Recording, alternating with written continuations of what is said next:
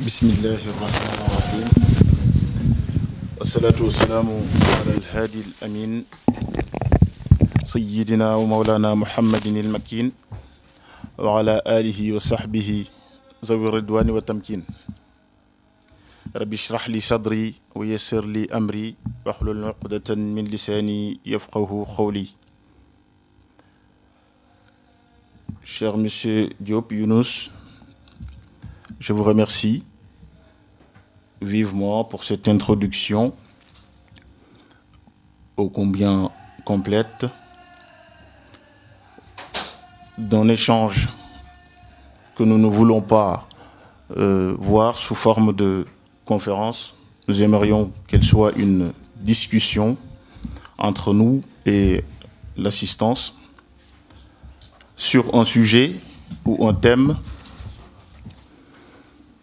autour de Cheikh Ahmed Bamba. Cheikh Ahmed Bamba qui est le fondateur de la Mouridia. La Mouridia en français traduit comme le mouridisme. C'est une voie musulmane soufie qui a vu le jour dans la deuxième moitié du 19e siècle au Sénégal.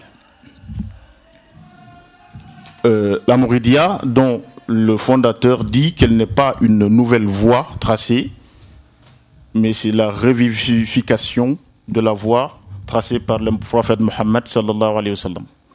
Il dira à ce propos Je n'ai point fondé une confrérie, j'ai plutôt trouvé la voie qu'avait suivi le prophète et ses envoyés complètement flétris. Je l'ai défriché dans sa plus grande splendeur et, appelé les gens à me suivre sur cette voie. Donc, la Mouridia n'a pas innové en islam. Il est donc une voie de revivification de, du message islamique que nous a amené le prophète Mohammed sallallahu Ahmadou Bamba, entre sénégalité et universalité, le premier terme ou la première notion est à manier avec grande précaution, car n'ayant pas une définition établie, claire, comme la plupart des notions dans notre monde, il est très difficile de tomber sur une définition qui fasse consensus.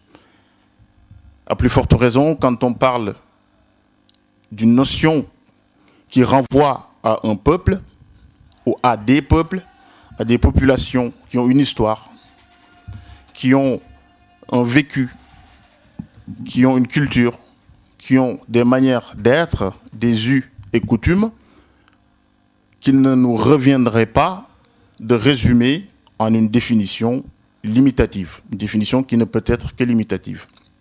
Nous verrons tout au long de, de cet exposé à quel point il n'existe pas en réalité de définition de ce qu'est la sénégalité.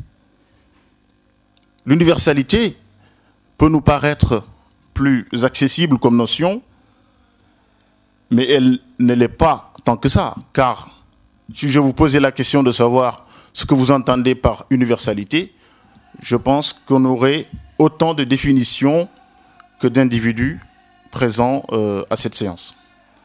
Donc nous sommes donc face à un thème qui parle de deux notions qui n'ont pas de définition précise. Ça rend d'autant plus compliqué la tâche qui nous est assignée aujourd'hui. Une tâche que nous acceptons de relever volontiers en espérant l'aide de Dieu et du prophète Mohammed sallallahu alayhi wa le Cheikh al-Khadim. Il convient d'abord de préciser que quand on parle de Cheikh Ahmadou Bamba, dans cet exposé, nous faisons référence à un individu qui a vu le jour ou qui, est venu au monde, au Sénégal, en 1853 selon certains, en 1855 selon d'autres, Mais toujours est-il que c'est au début de la deuxième moitié du 19e siècle, à Mbake Bawol, que Cheikh Ahmed Bamba nous parvint par la grâce de Dieu. C'est de cet individu dont nous voulons parler, en faisant abstraction de toute sa dimension ésotérique, insondable pour le, euh, les êtres humains que nous sommes, sans doute. Nous parlons de lui en tant que Sénégalais ou non, en nous, en nous basant sur ce qu'il a représenté, sur son histoire, sur sa culture, sur ses actions, sur sa mission. Aussi longtemps que nous pouvons sonder cette mission dans sa dimension exotérique. Nous parlons de Cheikh Ahmed Bamba de cette manière car euh, il est communément reconnu qu'il a le statut de ce qu'on appelle le Mujadid. Nous y reviendrons à la fin de, ce, de cet exposé. Un Mujadid est quelqu'un qui vient revivifier la voie tracée par le prophète Mohammed sallallahu alayhi wa à chaque début de siècle. Ceci est un hadith que je vous, citerai un peu plus loin dans, dans cet exposé. Un mujadid est donc quelqu'un qui vient nous montrer la voie. Une voie qui a flétri au fil du temps, au fil des années. Un message islamique qui a été sans doute dénaturé au fil du temps, au fil des années. Et que le mujadid a la charge de revenir vivifier pour nous montrer l'originalité de ces messages. Donc c'est ceci la mission de ce qu'on appelle le Mujadid. Mais on y reviendra un peu plus loin. Donc si a le statut de Mujadid, il est donc un exemple pour nous. Au-delà de sa dimension profondément ésotérique, insondable, il nous montre la voie qu'il convient de suivre pour, obtenir l'agrément de Dieu. Et qui dit exemple dit donc que nous devons nous conformer à ces, enseignements, à ces recommandations qui sont celles édictées par l'islam de manière originelle.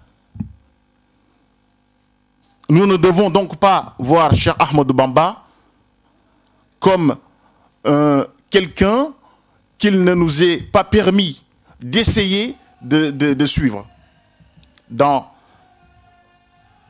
un certain nombre de ces caractéristiques dont on parlera tout à l'heure, en termes d'ambition, en termes de rigueur, en termes de goût du travail bien fait, en termes de respectabilité.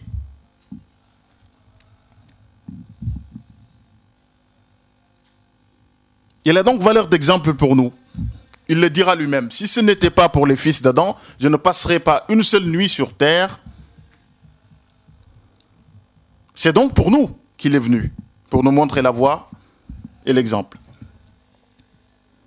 Ne vous laissez pas abuser par ma condition d'homme noir pour ne pas profiter de moi. Je suis le serviteur éternel et chaque génération aura la certitude que je suis venu pour elle. Ceci est répété euh, souvent, cette citation. Elle est connue sans doute de beaucoup de gens, mais il convient de nous arrêter parfois sur sa signification qui est que le cher, en réalité, est venu, n'est passé sur cette terre que pour nous montrer une voie qui est celle de, l'islam et du prophète Mohammed sallallahu alayhi wa sallam. À propos d'ailleurs de ce prophète Mohammed le Coran nous dit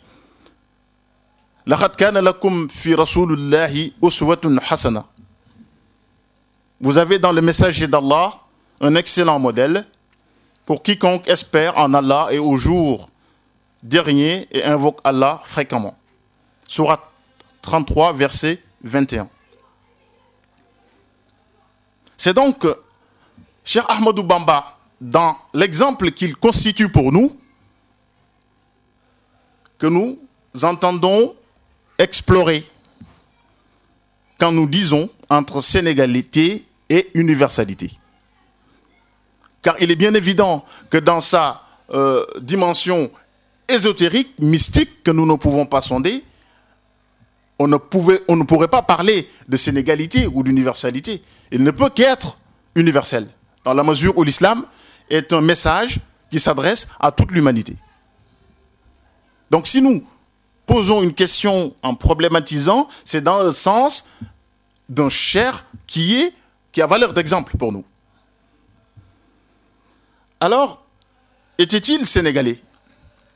Pour le savoir, il faut d'abord savoir c'est quoi être sénégalais.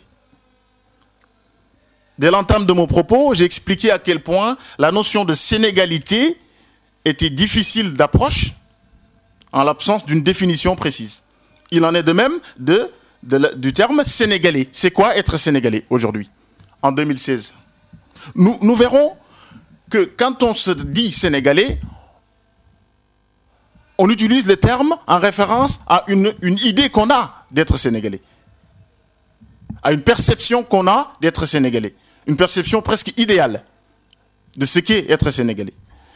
Mais il est rare, si vous m'interrogez aujourd'hui de savoir en quoi vous êtes sénégalais, j'aurai beaucoup de mal à vous répondre. Mais je suis fier de dire que je suis sénégalais parce que j'ai une idée, une, belle idée, une idée euh, très noble de ce qu'est être sénégalais. Comme peut l'avoir un Indien ou un, Français ou un Américain. Ils ont en, commun, sans doute, euh, un certain nombre de valeurs dont ils sont fiers et qu'ils euh, sont ravis de montrer la face du monde. Donc, c'est d'autant plus difficile parce que on, se dit sénégalais par rapport à un idéal et par rapport, par, par rapport à quelque chose qui existe. Être sénégalais, je crois, on ne peut pas en parler sans faire un peu d'histoire. Car notre pays, devenu aujourd'hui le Sénégal, officiellement, qui fait partie des 195 pays du monde, a une histoire avant l'arrivée des, premiers colons, l'histoire de la région sahélienne était caractérisée par la consolidation d'une succession de, de peuplements, de vastes entités étatiques. On parle souvent de l'empire du Ghana, de l'empire du Mali. Ça peut être lointain, mais nous verrons à quel point c'est fondamental d'aller jusque-là pour comprendre ce que nous sommes sans doute aujourd'hui devenus l'Empire du Ghana, l'Empire du Mali, le Tekrour. Mais notre pays est surtout marqué par l'histoire de l'Empire du Djolof. L'Empire du Djolof, qui est à différencier du royaume du Djolof, je vais vous dire pourquoi. L'Empire du Djolof englobait beaucoup de, d'entités aujourd'hui reconnues, qui ont été reconnues comme des royaumes. Par exemple, le, le Kayor, le Baol, le Wallo, le Sine, le Saloum, étaient des entités à l'intérieur de l'empire du Djolof. Empire du Djolof qui a été créé en 1350 par Ndjadjan Ndiaye. Qui était le premier empereur de l'empire du Djolof. Mais c'est en au fil des années, donc, cet empire s'est développé, a englobé de plus en plus euh, d'États. Et il vivait des tout couleurs, des Peuls, des Sérères, des Soninké, des Maures. Il éclata en 1549 à la mort de l'empereur Lele Foulifak Ndiaye à la bataille de Danki. Donc c'est là que l'empire du Djolof a pris fin avec la mort donc de, de l'Elefolifak euh, Ndiaye à la bataille de Danki. Et l'empire du Djolof a été réduit à, au statut de royaume, ou en tout cas d'entité étatique, au centre du Sénégal. Donc, passer d'un empire à une royauté.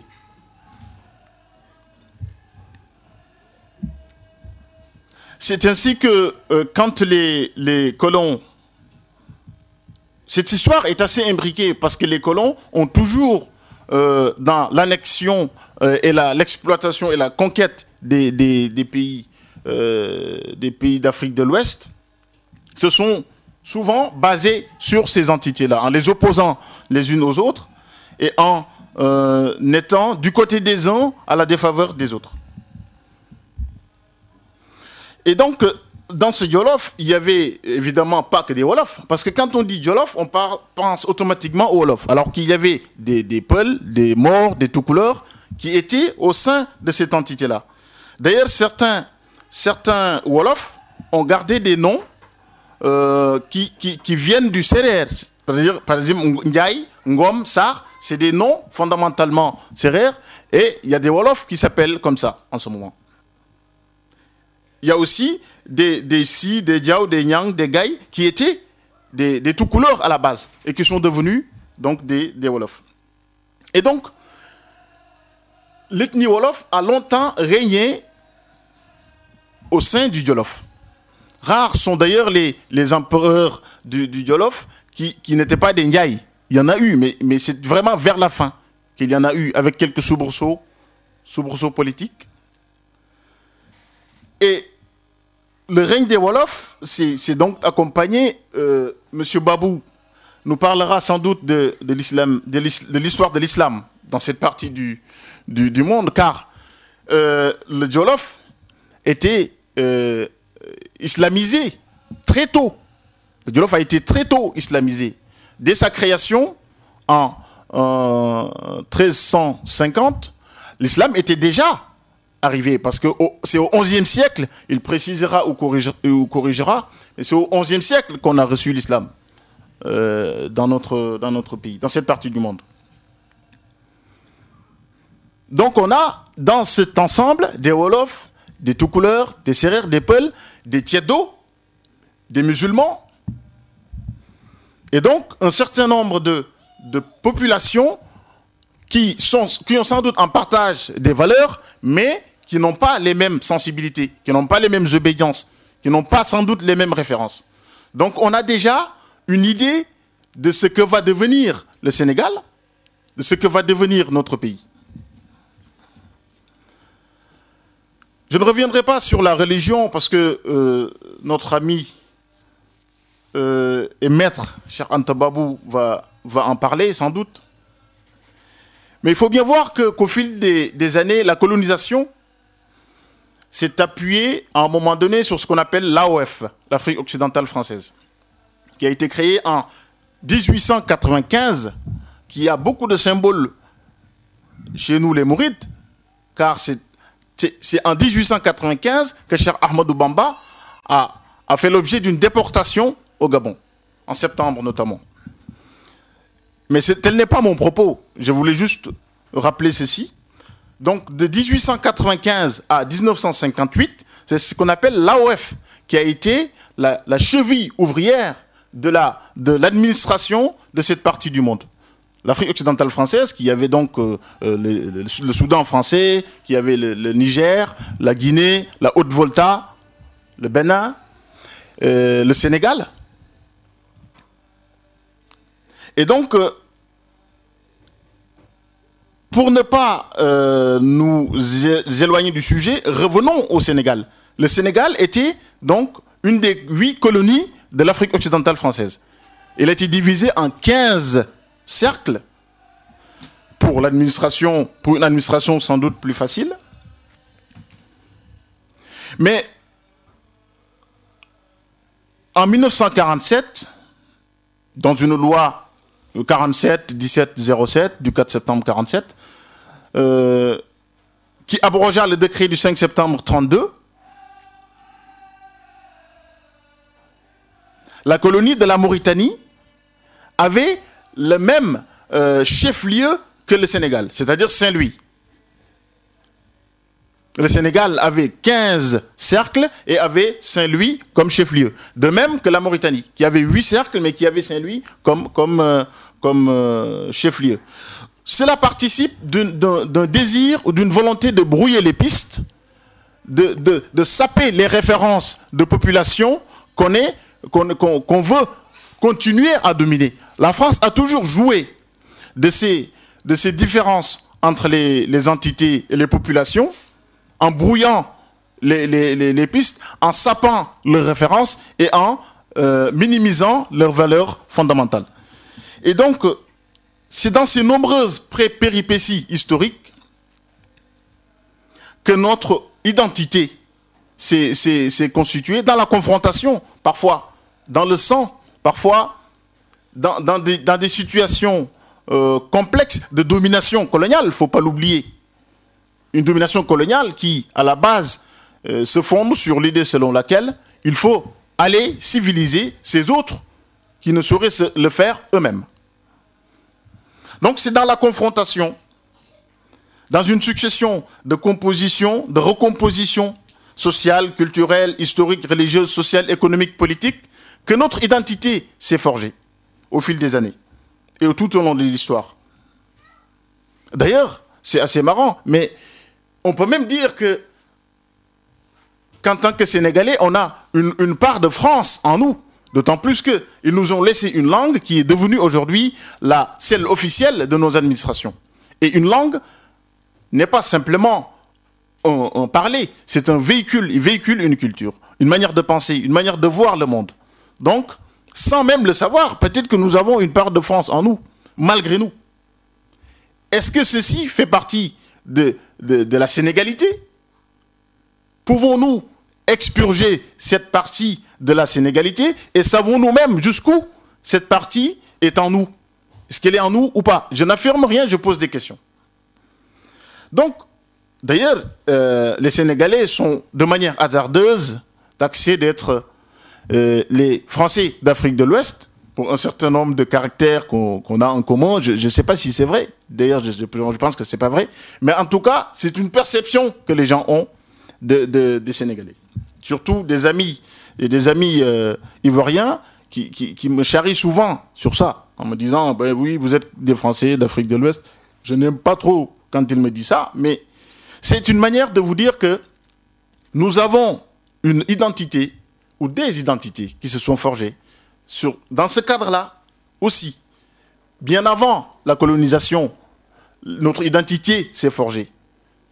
Mais avec la colonisation, elle a pris une autre tournure dans la violence et dans la confrontation.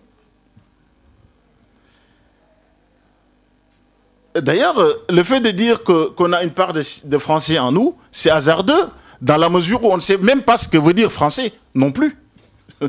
Donc c'est assez, assez difficile à, cerner tout ça. Donc, dans un contexte de tumulte politique, socio et culturel, c'est dans ce contexte que notre cher Ahmed Bamba, nous est parvenu par la grâce de Dieu.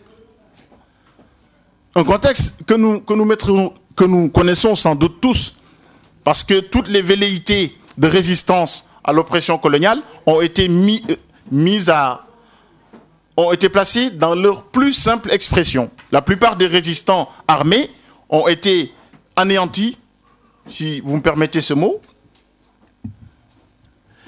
et nous reviendrons euh, sur, euh, sur la spécificité de Cheikh Ahmadou Bamba et sur, sur le fait qu'en fait, il, avait une intelligence au-delà, au-delà de la norme. Et en cela, il n'était peut-être pas sénégalais. On, va, on va y revenir. Donc cette absence de définition euh, nous conduit à sans doute analyser cette problématique, mais en nous basant sur une démarche comparative. Cher Amadou Bamba était-il sénégalais? Nous, ne pouvons sans doute appréhender ce, sujet, cette problématique, qu'en comparant son attitude, ses, agissements, son, comportement, ses valeurs, à celles que nous euh, incarnons en tant que Sénégalais. C'est dans ce sens-là qu'on pourra sans doute voir si on est pareil que lui. J'entends, je précise encore, hein, je parle de la dimension exotérique de Cheikh Ahmed Bamba. Euh, du fait qu'il avait euh, une forme humaine, il était un individu parmi nous, il, a vécu parmi nous, il a enseigné à certains d'entre nous, pas nous, mais quand il était, euh, quand il était au Sénégal, il s'est confronté avec un certain nombre de, gens qui n'étaient pas d'accord avec lui, d'autres qui étaient d'accord avec lui. Il a donc vécu en tant qu'être humain dans un, contexte dans lequel il a su relever des défis. Comment il a relevé ces défis-là? Comment il, a, il est passé outre les obstacles qui ont été dressés contre lui? Comment il a relevé les défis de la résistance culturelle? Les défis de la revivification de l'islam Les défis du développement économique Les défis de la, de, de, de la préservation de la foi des musulmans dans un contexte que j'ai décrit tout à l'heure comme très compliqué et très complexe et fait de confrontations multiples. C'est en cela que nous pourrons mesurer son, son, son dévouement, son, goût du travail bien fait, sa rigueur, son ambition, à ce que nous avons, nous, comme rigueur, ce que nous avons comme ambition, ce que nous avons comme goût du travail bien fait. Est-ce que il, ne s'agit pas pour moi de dire qu'on doit faire comme lui. Il a sans doute, et c'est certain, euh, une dimension que nous ne pouvons pas sonder.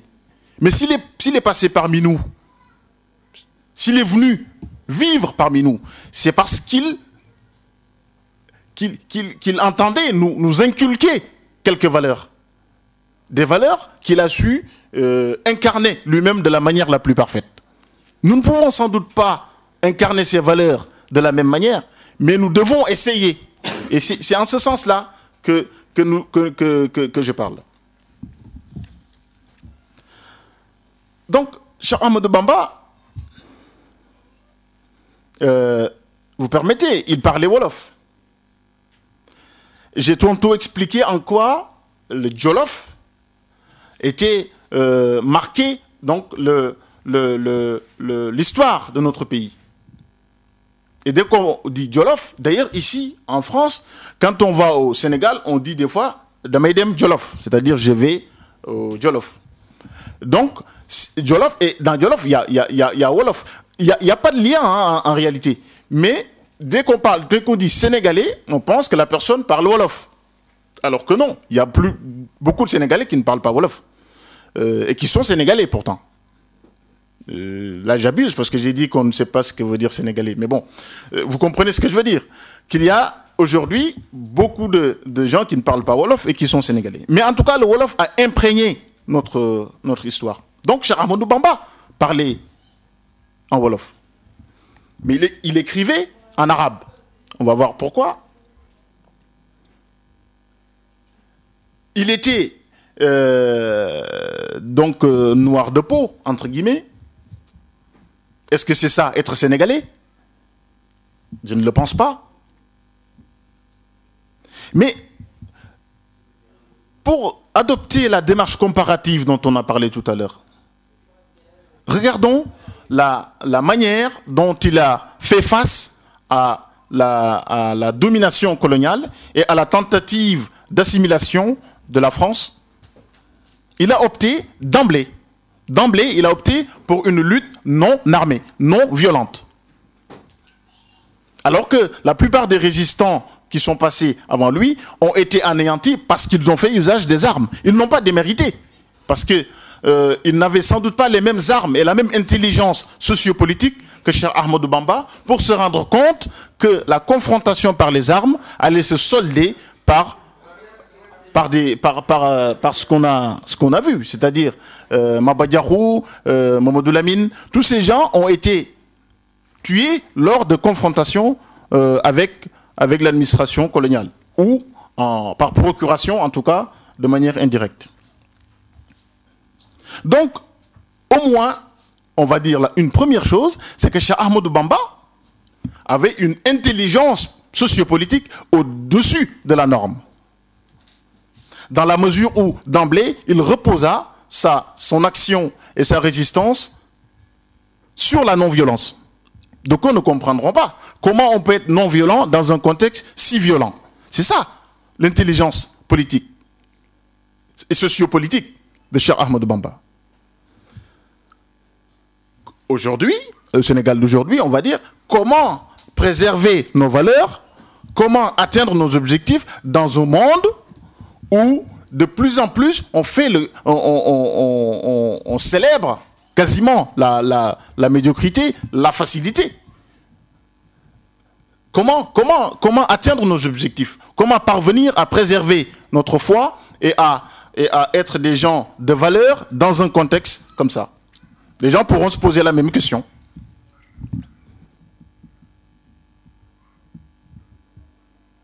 Et donc, euh, baser sa lutte sur la non-violence, il dira. Rabdan.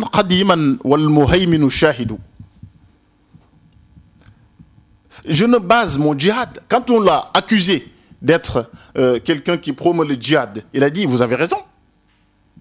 Sur le djihad, notre ami cher Anta euh, va, en parler sans doute parce qu'il a écrit un excellent ouvrage sur ça, le djihad de l'âme. Mais il a dit, vous avez raison, je fais un djihad. Mais inni ujahidu bil ulumi wa Mon djihad se base sur la science et sur la crainte révérentielle de Dieu. Je n'ai pas d'autres armes.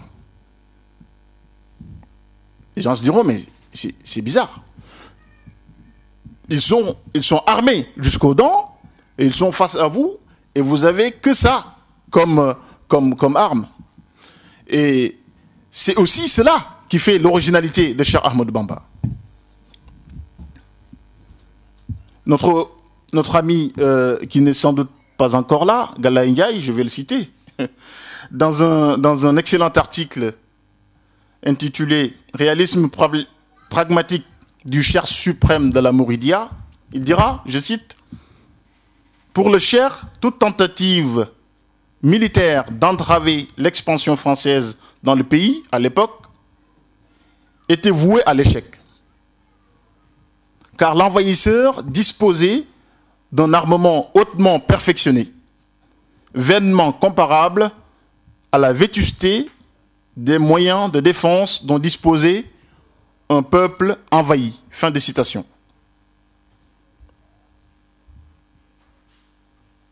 Donc, en admettant que Cheikh Ahmadou Bamba était sénégalais, nous sommes obligés de reconnaître qu'il avait une intelligence sociopolitique bien supérieure et sans commune mesure avec celle de la plupart des chers connus à l'époque. Il fera montre de cette originalité, de cette, de cette distinction, quand il dira euh, alors qu'on lui proposait de succéder à son père euh, dans la cour de, de l'Adjor pour être un, un qadi, c'est-à-dire un, un consulte et rendre des, jugements au nom de l'islam. Et, et, rappelons que cette station, ce statut, était le plus espéré, le plus convoité des, des, islamologues, entre guillemets, et des gens qui étaient imbu de science islamique. La plupart ne voulaient qu'être jurisconsultes auprès de, des rois. Il leur dira, et ça c'était aussi original, dans un monde où tout le monde pense que les futilités, ces futilités, sont les choses les plus fondamentales, il mettra une ligne de fracture en disant, en disant, ils m'ont dit de, te pencher euh, à la porte des, des rois, ainsi tu auras tout ce que tu veux. Et il leur répondit,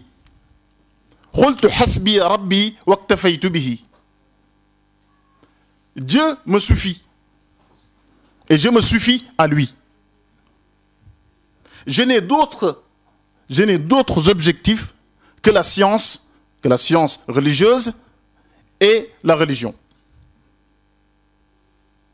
une ligne de fracture encore, dans un, dans un contexte euh, que nous avons décrit tout à l'heure. Cher Amadou Bamba marquera de nouveau son originalité dans un autre contexte qui va sans doute nous, nous surprendre, vu du, du, de, de 2016. Parce que j'ai coutume de dire qu'il est le premier théoricien dans notre pays de ce qu'on appelle l'alternance politique. l'alternance politique, le, passage d'une majorité à une autre, en l'occurrence, c'était même pas une majorité, c'était une domination coloniale. Comment pouvez-vous imaginer qu'on en sortira un jour pour fonder un, État souverain? Et pourtant, il dira, cher Abdul Ahad l'a d'ailleurs rappelé dans un de ses sermons, que quand le cher disait que la domination coloniale allait quitter ces pays et, et, une, par un autre pouvoir, quand il le disait, personne ne, comprenait ce qu'il disait. Parce que déjà, d'un point de vue purement, purement pratique, le cher a quitté ce monde, entre guillemets, en 1927, alors que nous n'étions même pas indépendants. Donc, quand il a dit que cette domination quittera pour être remplacée par une autre, il, n'a pas fait que dire cela. Il a dit ça à des rois, à des, souverains qui, étaient, euh, qui pensaient qu'ils n'allaient jamais quitter leur poste. C'est ainsi qu'il enverra une lettre à un roi du Jolof, d'ailleurs, appelé Sambalaobe. Cette lettre est formidable et d'une portée historique notoire. Et je vais vous lire un, passage de cette lettre pour vous dire à quel point son intelligence était hors norme. Je cite, s'adressant à ce roi, il lui dit, Sache que le pouvoir que tu détiens actuellement en ce monde ne t'est parvenu qu'après avoir été soustrait dans d'autres mains, d'autres rois, comme toi qui t'ont précédé. Et qu'un jour viendra où ce même pouvoir te sera repris des mains pour être cédé à d'autres rois qui te succéderont. Donc, s'il arrive certains jours où la vie te semble favorable et t'assiste contre tes adversaires, sache qu'il en sera d'autres où elle favorisera tes adversaires contre toi. Et si quelquefois elle t'a fait rire, quelquefois aussi elle te fera pleurer. Que donc la joie qu'elle t'inspire ne t'abuse pas, car ce monde est, par nature, trompeur et fourbe.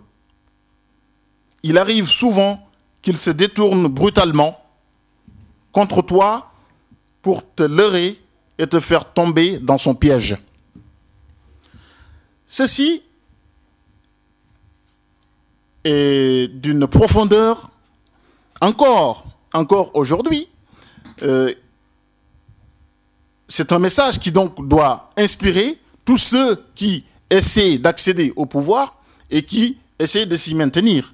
Parce que dans un contexte autrement difficile et autrement différent, le cher a su, eu l'intelligence et la, vision d'expliquer à quelqu'un qui pensait n'avoir jamais acquitté son poste qu'en fait, il le quittera un jour par la force des choses.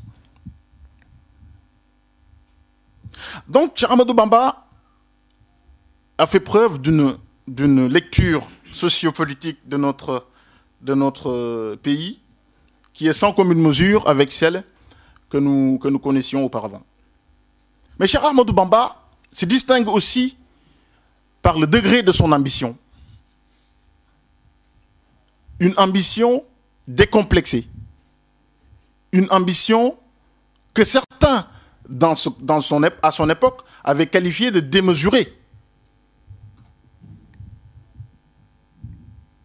Mais il a eu cette ambition parce qu'il a su démystifier, démystifier euh, l'arabité, la notion d'arabité, qu'il a su distinguer à l'islam. Parce que la plupart du temps, on confondait l'islam et la, tradition arabe, si bien que quand on parle arabe, on, est si euh, respecté qu'on pense qu'en fait on est en religion, alors que ce n'est pas la même chose. L'arabe n'étant euh, qu'une langue. Euh, c'est une manière de parler, parce que c'est une langue liturgique, une langue sacrée, celle du Coran. Mais elle est à différencier de la tradition arabe, ces différences n'étaient pas très très évidentes quand Cheikh Ahmadou Bamba euh, nous parvint par la grâce de Dieu. Parce que, observons que la, la plupart, voire toutes les voix soufis de notre pays, la Tijania, la Khadria, Chazalia, étaient issues de, contrées très lointaines, développées euh, par, des, soufis qui ne sont pas sénégalais. Certains n'ont même jamais foulé le sol du pays, du Sénégal. Cheikh Ahmed Tijani, Cheikh Abdul Khadir Jailani sont des créatures hors normes sur la voie de Dieu. Mais c'était des, gens qui n'ont jamais foulé le sol du, Sénégal. Cheikh Amadou Bamba est donc, sans doute, dans toute l'Afrique noire, le seul qui, aura euh, reçu de son Seigneur un, un, weird, un weird qu'il appelle qu'il a reçu en Mauritanie. Et donc ça, ça nous montre le degré de son ambition. Il dira,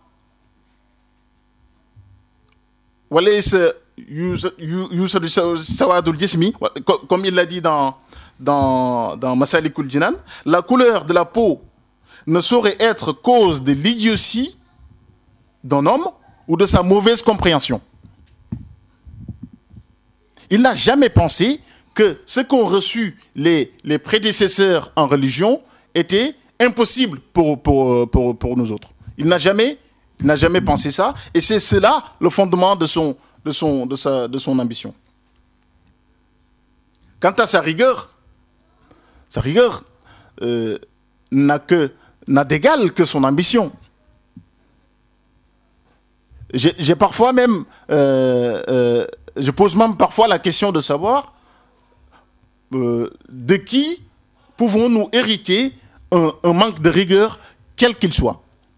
Nous, Mourit en tout cas. De qui Nous ne pouvons tenir ça de, personne.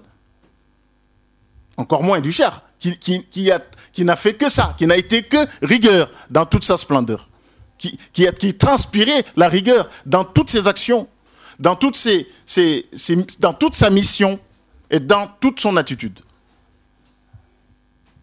L'endurance. Exilé, ayant vécu 72 ans selon certains, il a été privé de liberté 33 ans. Exilé pendant presque 8 ans au Gabon. Exilé 4 ans ou 5 selon certains en Mauritanie, mise en résidence surveillée à Cheyenne, puis à Durbel, et privé de liberté jusqu'à la fin de sa vie. On ne peut pas vivre tout ceci sans endurance. C'est pas possible. Et il est l'auteur le, plus prolixe de l'histoire de l'islam. Les gens, on, ne, on ne le sait pas, ça. Il y, a beaucoup de chercheurs en, islam qui ignorent qu'en fait, l'auteur le, plus prolixe, c'est Cheikh Ahmed Bamba. Sur des thèmes, dans des domaines euh, autrement, autrement euh, dont certains ne nous sont même pas encore connus, sans doute. Cheikh Ahmed Bamba se distingue aussi par son goût pour l'écrit. Et là, je vais toucher un sujet qui fâche, sans doute, parce que quand euh, je dis qu'il est l'auteur le, plus prolixe de l'histoire de l'islam, c'est parce qu'il a sans doute le plus écrit que tous. Il n'a fait que ça dans sa vie. Il dira d'ailleurs que mon seul miracle, ce sont mes écrits. Au-delà de, de, la dimension insondable de ses écrits, nous nous arrêtons souvent à la quantité. Nous disons souvent qu'il a écrit 7 tonnes 500, D'ailleurs, un, de mes amis m'a dit une fois, mais s'il a écrit 7 tonnes 500, est-ce que, est que toi, tu en maîtrises même 500 grammes? Il m'a déjà dit ça. Je lui ai dit, mais vous avez raison. Et je vais essayer de maîtriser 500 grammes. Juste pour dire que le goût qu'avait le cher pour, l'écrit est aussi un, une preuve de son originalité et de son intelligence, encore une fois. Parce qu'il a su rendre accessibles les écrits qui ne, qui ne l'étaient pas auparavant. Avant, il y avait des, des, des, textes comme Al-Akhdari, comme Risala, comme Khalil, des, ouvrages de jurisprudence islamique qui étaient devenus inaccessibles à la plupart des, des, gens. Parce qu'ils n'avaient pas les clés pour y avoir accès. Il fallait euh, voyager pendant des, années, s'exiler pendant des années pour pouvoir acquérir ces connaissances-là. Et Cheikh Ahmadou Bamba, j'utiliserai ce terme, a démocratisé l'accès à la connaissance et à la science religieuse en utilisant euh, une méthode qui est beaucoup plus euh, adaptée à l'assimilation de ces sciences-là. Euh, le livre de l'Akhdari, il en a fait un, poème appelé Jawharun Nafis et bien d'autres ouvrages qu'il a rédigés sous forme de, poèmes pour en rendre la compréhension plus facile. Et sur ce point, je dirais que là, c'est là où Cheikh Ahmed Bamba a signé notre entrée dans l'universalité. C'est sur ce point-là. Quand il a rendu accessible des sciences religieuses, une science islamique dont la vocation est fondamentalement universaliste, quand on nous rend accessible ces sciences, c'est qu'on nous ouvre la porte de l'universalité.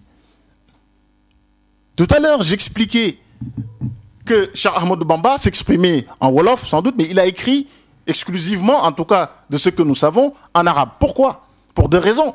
La première, c'est que l'arabe est la langue du Coran. Ça, c'est une décision, un décret divin.